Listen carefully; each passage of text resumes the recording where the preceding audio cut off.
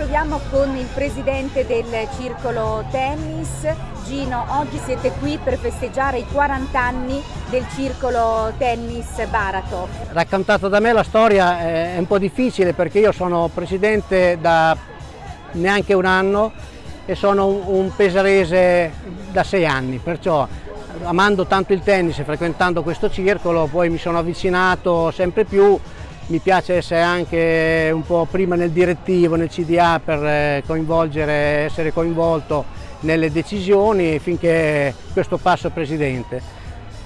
La storia qual è? La storia di un gruppo di amici eh, appassionati di tennis negli anni, nel 79 che decidono, non so per quali vicissitudini, di distaccarsi dai, dai circoli eh, pesaresi e, e, creano questo circolo, comprano la terra, impostano questa cosa, insomma tutte le vicissitudini affinché il 2, ottobre, il 2 agosto 1982 inaugurano i campi da tennis. E oggi è 40 anni che giochiamo su questi campi, su questo bellissimo posto, siamo 230 soci, e abbiamo la Top School, una scuola tennis con eh, più di 130 ragazzini, eh, guidata eh, da Luca Pavoni, un maestro federale di, di un certo rilievo.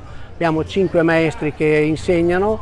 Eh, tra questi ragazzini abbiamo Luca Nardi, che è il nostro fiore all'occhiello e non soltanto della Baratov, ma penso delle Marche e anche dell'Italia, è uno dei nuovi giovani eh, in crescita eh, che dire, eh, la, il bello di vedere questi ragazzini che approcciano al tennis per un appassionato come me è, è gioia. Esatto. Progetti futuri per questo circolo? Progetti futuri, imminente 2-3 campi da paddle, perché oggi il paddle eh, proprio, ne parlano tutti, ci giocano tutti questa è la prima cosa, e poi anche rinnovare un po' le coperture che hanno 40 anni, un po' la struttura 40 anni, qui comincia ad avere anche se un quarantenne oggi nel pieno delle forze, le strutture no.